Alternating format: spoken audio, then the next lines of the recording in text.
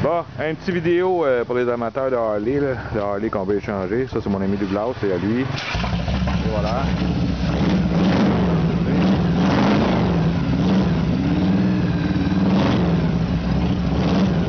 Il n'a pas parti depuis plusieurs mois, que, on vient de le mettre en marche.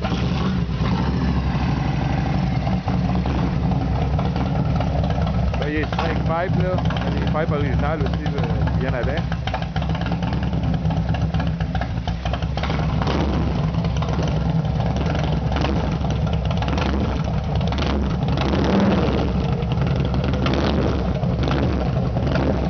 Va essayer de montrer le plus de détails possible.